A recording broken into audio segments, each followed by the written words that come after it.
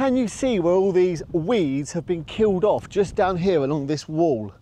Now normally this is a horrible sight, it's a sign to panic because they've used weed killer. Look at all that lot down there.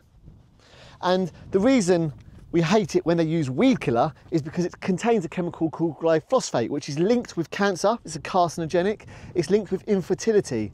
It's a dangerous chemical glyphosate and it shouldn't be sold.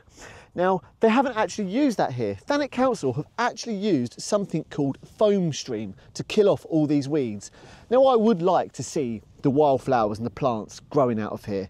I try not to use the word weeds, but sometimes you do have to control them in order to, you know, for structural reasons and things like that. Um, I'm not a fan of tidiness, but anyway, you can just scrape them all out and around the corner they've done that, but that's time and effort.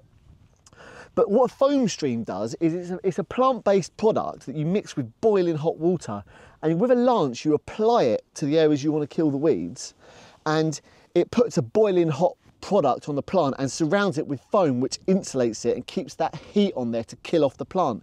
You only need to do about three treatments a year. It's really good stuff. Whereas if you were just to pour boiling hot water on it, it would lose its heat pretty quick and it wouldn't have the effect, but whereas foam stream will do that.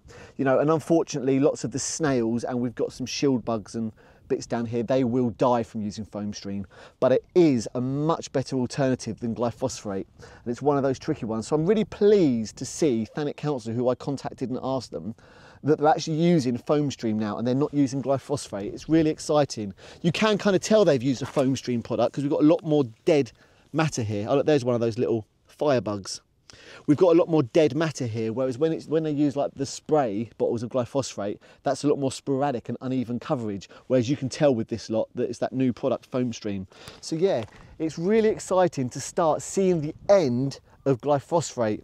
Unfortunately, it's still widely used in the farming industry, but it's great to see it not used in public spaces because wild animals, and of course people walk their dogs along here, if they walk on this stuff and it had glyphosate on it, the animals would later um, groom themselves and lick their paws and therefore lick off the glyphosate and it, it, it will harm them.